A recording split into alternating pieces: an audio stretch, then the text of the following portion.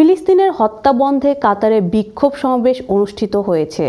কাতার প্রতিনিধি আমিন ব্যাপারী জানান, কাতারের জাতীয় মসজিদ প্রাঙ্গণে এ বিক্ষোভ সমাবেশ অনুষ্ঠিত হয়।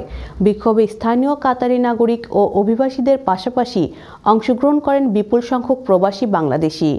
ফিলিস্তিনের গাজায় ইসরায়েলের বর্বরচিত হামলা ও হত্যাযজ্ঞ বন্ধের দাবিতে এই প্রথম মধ্যপ্রাচ্যের দেশ কাতারে বিক্ষোভ সমাবেশ অনুষ্ঠিত হলো।